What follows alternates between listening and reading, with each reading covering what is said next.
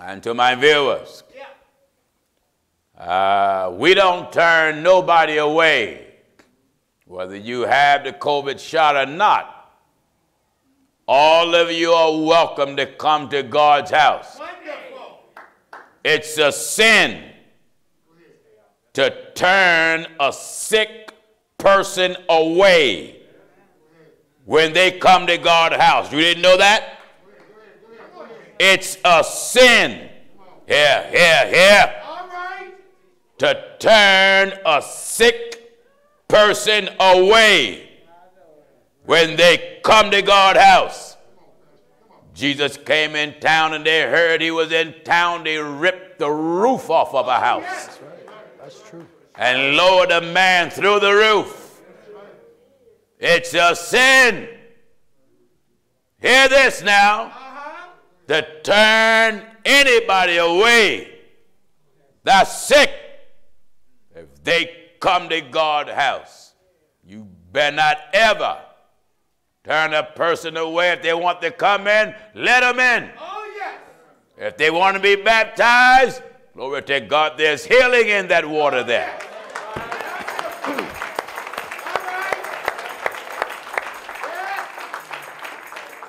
They don't have to have no COVID shot to repent and be baptized. God said repent. God didn't say you got to have the shot. God said repent and be baptized. That's it. So none of the churches better not ever turn one person away. That's right. Not one. No. Because they don't have a shot. Hmm. Amen. I was in the preaching pul- in the pulpit preaching with the virus.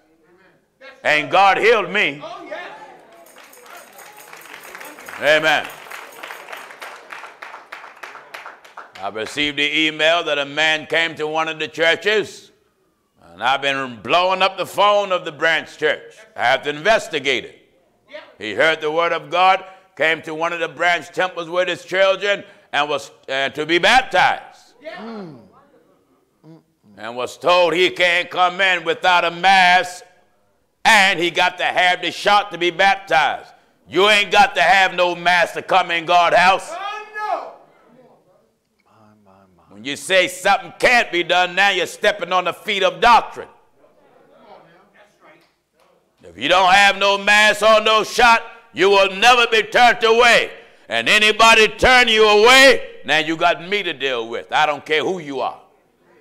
Bible says, I was glad when they said unto me, Let us go Oh, yes. to the house of the Lord. That's what God put in there. And I don't care what calamity come on earth, we ain't changing it. I made this no branch temple, no preacher, no minister. Better keep, better not keep no human. That's right. I don't care who they are for coming into God's house. Not even the nurses unit. If somebody come in with no mask, don't you tell them to leave. Oh, no. You ain't got that kind of authority. Oh, no. That goes for security. Somebody coming without a mask, you better not tell them to leave. You ain't got that kind of authority. God said one thing and you said another. You are go to hell. God knows you will. God said, Come, ye blessed. Come. We ain't gonna turn nobody away. I don't care what kind of illness you have. If you're full of leprosy and got corona, sharona, sharana, Veronica, uh, uh, Megatron, Optimus Prime, Starscream, I don't care what you got. Megatron. Nobody from the medical team, no preacher, no brother, sister, or security better not ever turn one person away from God's house, or I'll set you down or put you out. This is God house. God says, Whosoever will, let him come. That's what God said.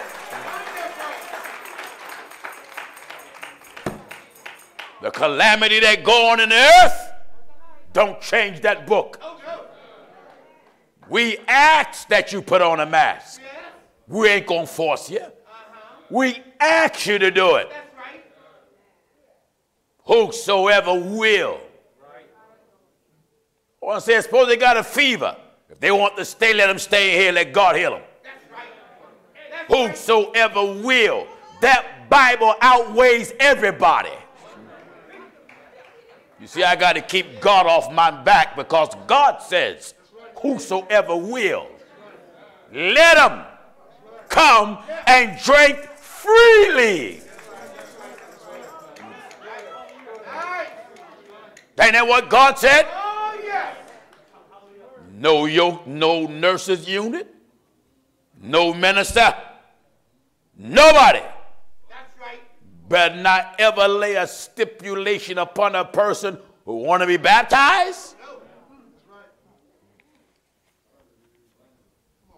Now you're putting too much authority in your hands. And when you put too much authority on your hands, you stepped on God's turf. And when you step on God's turf, that's an alarm. Yeah. Sure. Give me the 23rd chapter of the book of Psalms. I want everybody to follow me. Ain't nothing wrong with having rules implemented, but those rules better not step on God's turf. Where you turn somebody away from coming into God's house, and your reason is they're sick.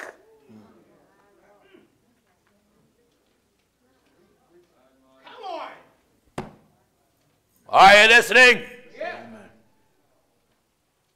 Follow me in your Bible.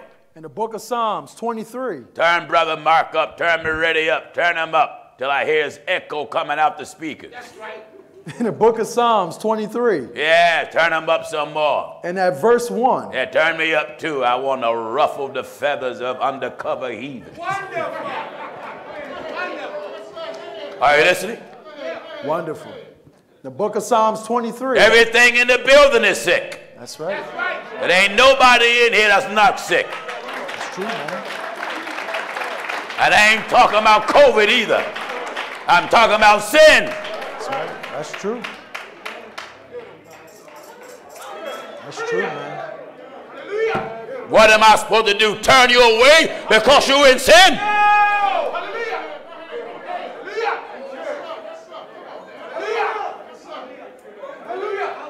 Jesus said, I am the way, the truth, and the life.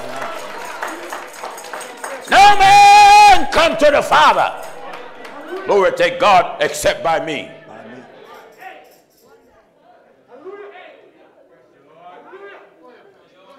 Amen. Excellent. See, the apostle said, I set all things in order when I come. To turn nobody away. If they have a fever of 200, they want to come to God's house, tell them to press their way like the woman with the issue of blood.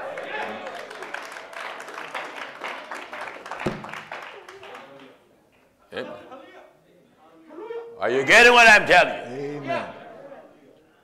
Everything must be compliant with the book, not contrary to the book. Listen, Psalms 23 and at verse 1. The Lord is my shepherd. the Lord Is is, my my protector. Yeah. The Lord is my guide. The Lord is my keeper. Oh, yes. Amen. Oh, yes. The Lord is my shepherd, I shall not. I shall not want. What does he do? He maketh me to lie down in green pastures. He make me lie down. In green pastures. What is green pastures? A place of comfort. Place of comfort and satisfaction. Green pasture. Green pastures. comfort, satisfaction, plenty to eat. God, shepherd, people, sheep, green pastures, that which is bountiful, plentiful. God lead his people where there's plenty of truth being Oh, preached. yes. Glory to God, the word of God is our green pasture. That's right. No dried up grass here. Not here. Not here. Green. Green pastures. You digest this, God can hear you. While the word of God is being preached. God can deliver you while the word of God is being preached. Amen. Never turn a person away from God house. I don't care if they're so sick they can't hardly breathe. If they want to come, Jesus, who is God Almighty, said, Whosoever that pushes everybody back. Ain't nobody else got no say so when he talks. Whosoever will, let him come. That's right. Ain't nothing nobody can do about that. Nothing. Whosoever will. Who said it? The boss. And that's not me. Bible says repent and be baptized. I can't add a stipulation. Repent and you got to have a shot to be baptized. What do I look like a fool? I got to keep it like the Bible says Oh, it. Even if a person got tuberculosis but wants to be baptized, I'm taking you in there. If you got AIDS and want to be baptized, I'm taking you in there. If you got syphilis and want to be baptized, I'm taking you in there. Yes, bro. Yes. Why will I do it? Glory to God, because when they pierced him in the side, out came blood and water. Oh. And there's healing in that blood. Glory to God. Many people came out of the water, went in with the condition, and left the condition off. That's right. That's true. That blood that was shed, glory to God, healed them of their condition. Oh. I have to look past the condition. I have to look at God. I have to look past the condition and look at Scripture. Wonderful. Nice. Wonderful. No First Church of the Lord Jesus Christ, no minister, no brother, no sister, better not ever make a stipulation to anyone who wants to come in God's house because they sick. You can't come.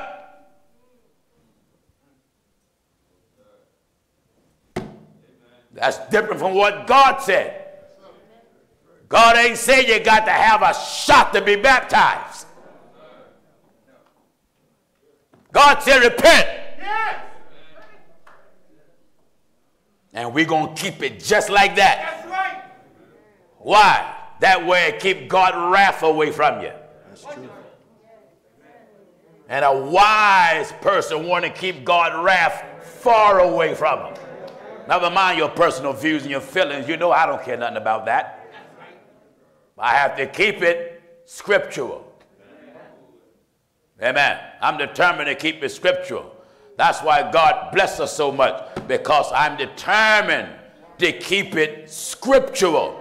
I have no interest in no one personal views or feelings or ideology touching the scriptures. Don't bring it. I'm not interested. That's right. The moment you come to, I'm interested in what God says. That's it, man. That's wonderful. Thank God that woman had the issue of blood. She was pressing through the crowd, she was. trying to get a hold of Jesus.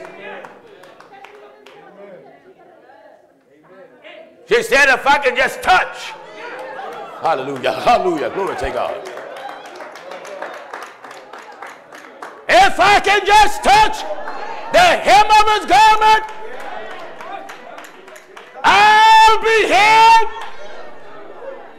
And you mean to tell me somebody come in the building with that kind of faith, sick, and believe God will heal them, and you keep them out? No. Absolutely not.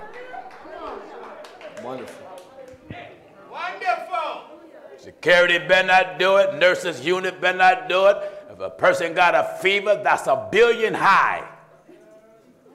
It's true. They want to come to God's house, turn them loose. Wonderful. Imagine me coming in sick and someone tell me, you can't come in here. Who you think you talking to? That's right. If a old mother come in, frail and shaky, and she'll tell you, I want to get to God house.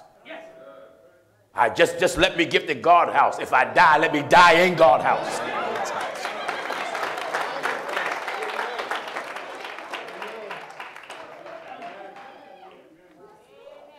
Are you getting what I'm telling you? Oh, yes. The way society do things and the way God does it is not the same. That's right. The way we think and the way God think is not the same. Oh, no. Jesus said, Whosoever will. That got everybody under the sun. Everybody. Whosoever will, let him come. And if he said let him, ain't nothing I can do about that. That's right. Amen. That's true. Amen. Let him come. Amen. You never know what God have in store for that man or for that woman that day. That's true, man. So true. Amen. The Lord The Lord is my shepherd. is my hallelujah, my protector, my keeper, my guide. I shall not want. Amen. Don't have to want for nothing else. He maketh me to He lie make down me lie down. in green pastures. Amen. I'm in those pastures now. That's right. You know, green pastures, you have to get to a point you experience those green pastures. I'm in those green pastures now. They're green. Frank, I'm, I'm, I'm eating a lot of green pastures. Amen. Digesting a mouthful of scripture. Wonderful. Keep it green. Yeah. Profitable. What else? He leadeth me beside the still water. Wait a minute. There's still water and there's troubled water. Still. You see the difference? Yeah. yeah. Troubled water in the natural, the wind be boisterous and the water is all over the place. Waves is tossing. Still water, meaning he lead with me besides where? The still water. Waters that are calm. Water to represent your troubles. Yeah. Uh-huh. When the waters in your life is troubled, it's because there's a lot of wind, there's a lot of things blowing in your life. Then God speaks, peace be still. He calms those things. Wonderful. That's beautiful. And now the things in your life become as still waters because the power of God bring a calmness in your life. You know, listen, I know from experience, God can bring a calmness in your life that's out of the ordinary. And it is extremely extraordinary. I experienced that in falsehood. False prophet, amen, got over the pulpit and said, if Gino and Sister Darlene get married, I hope you drop dead. He told the folk, if you say amen to him, I'm going to throw you out the church. He set me down for a year. Asked me after that, can you preach what I preach? I said, I'll preach what the Bible said. He said, being that you want to preach what the Bible said, I'll call the chapter and the verse. I went to the chapter and verse that he wanted, and God, the Holy Ghost went to work. He set me down another year. In the midst of all that madness, God gave me a calmness. People was asking me, what are you going to do? I said, I ain't going to do nothing. I experienced a calmness from God in my teens that I never experienced before until then. Amen. Even now, when heathens some years ago raged and thought they can destroy the church, thought they can take my name and blacken it and taint it by using internet. They was trying everything. Different ones was telling me, why don't you get a lawyer? Why don't you do this? Why don't you do this? I said, I ain't gonna waste my time, my energy, and my money for what? God gave me a calmness. I didn't even turn my back. What did I decide to do? I decided to step out and walk on water with Jesus. Oh, yes. Yeah. Come on. When Peter, hallelujah, saw Jesus walking on water, he wanted to come out. Long as he kept his eyes on Jesus, he stepped on water and walked. But the moment he started looking at the wind and the waves, he sunk and cried out to God to help him. When you take your eyes off God and start paying so much attention what you're dealing with, what you're faced with, what this one done to you, how long they done it. That become a distraction until you can't see Jesus.